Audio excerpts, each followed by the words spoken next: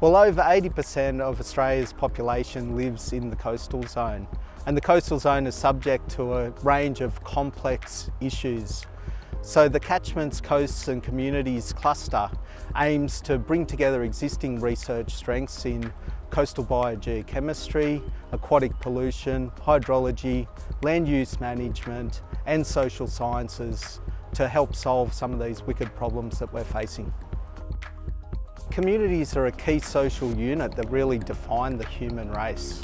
What we want to do is undertake research that improves the lives of communities within the coastal zone.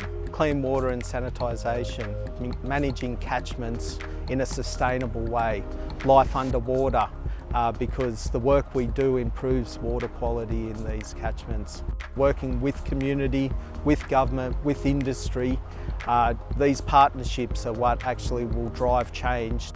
Southern Cross University has invested heavily in this area since its inception, uh, which has resulted in a critical mass of expertise, knowledge uh, and uh, instrumentation that allows us to do cutting edge research in catchment sciences. It's an awesome group of academics who are coming together to work within this cluster. The impact that we can provide for community, for the environment into the future and that's really what's driving and motivating us.